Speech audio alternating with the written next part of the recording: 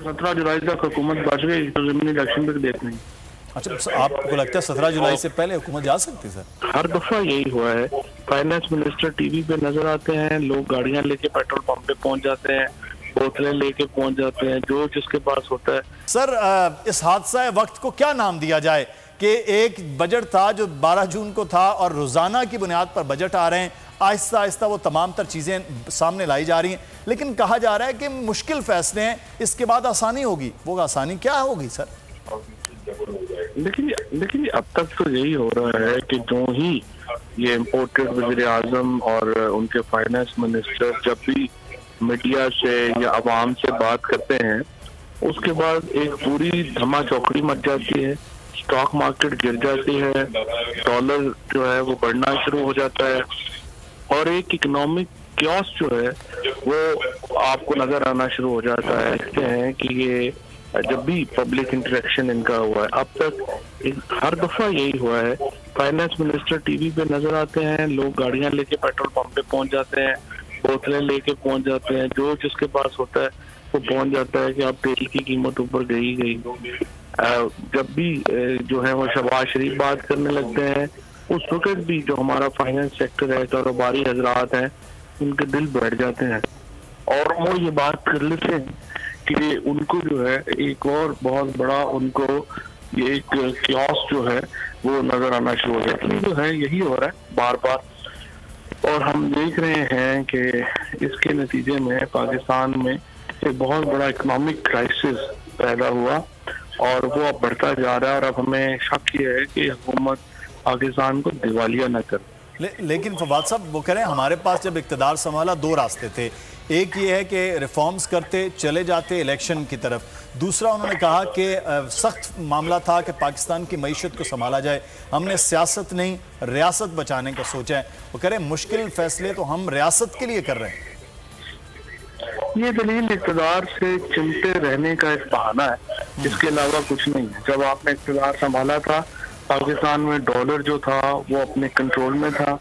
पाकिस्तान में foreign reserves बढ़ रहे थे। पाकिस्तान की फॉरेन रेमिटेंसेस जो है, उनमें इजाफा हो रहा था एक्सपोर्ट में इजाफा हो रहा था। हमारी इकोनॉमी बिल्कुल लो कॉन्फिडेंस के बाद से पाकिस्तान एक दिवालियापन का शिकार हुआ है, एक मुआशी बहरान का शिकार हुआ। और एक सियासी बहरान के नतीजे में ये मुआशी बहरान आया।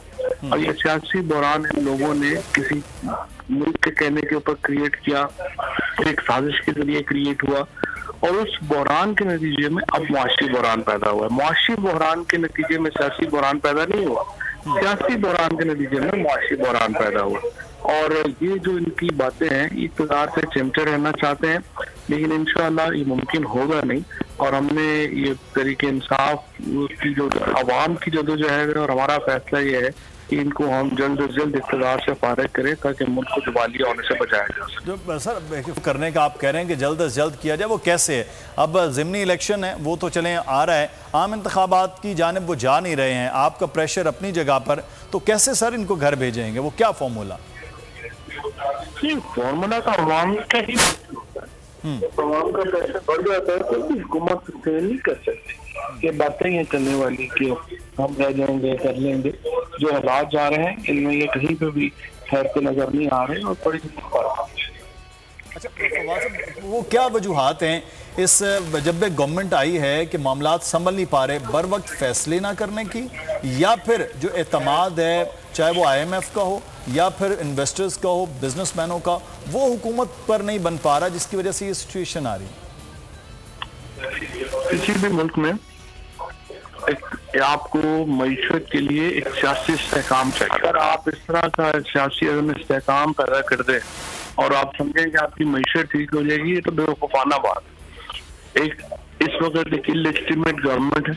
एक सौ चौरासी सीटों वाली पार्टी एक सौ चौवन सीटों वाली पार्टी को इकतदार से बाहर करके चौरासी सीटों वाली पार्टी को इकतदार दे दिया गया और उसके नतीजे में एक बहुत बड़ा सियासी बहरान पैदा हुआ और ये सियासी बहरान अब बढ़ता जा सियासी बहरान के खात्मे के लिए को मामला बात हो रही है। बैकडोर भी डिप्लोमेसी होती है, जिस तरह उसी तरह बैकडोर सियासी मामला भी होते हैं। तो कुछ बात जाएँ, क्योंकि वो तो अब बात कर रहे हैं शहबाज शरीफ साहब के है, वो ये किया जाए कि ग्रैंड डायलॉग की बात की जाए नेशनल डायलॉग की बात की जाए तो सर वो तो चाहते हैं नेशनल डायलॉग की सूरत में इस रियासत को बचाया जाए।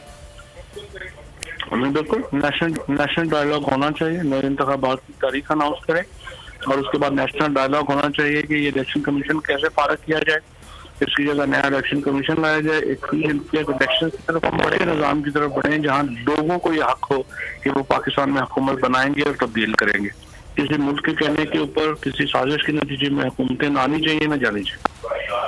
तो, जो सब अब आखिरी में, में सवाल ये है कि ज़िमनी इलेक्शन है सर ज़िमनी इलेक्शन का बड़ी एक तयन आप समझते हैं कि आम इंतबात या इस हुकूमत के हवाले से वो कर लिया जाएगा या फिर आप मुतमिन हैं इस वक्त इलेक्शन कमीशन पे और फिर पंजाब में ब्यूरोसी और तरीक़ाकार आपको पता है जिस तरह से लगाई जाती है पटवारियों से लेकर तो यहाँ पर जो है डी पी ओ और डी सी ओज तक तो आप मुतमिन हैं इस वक्त?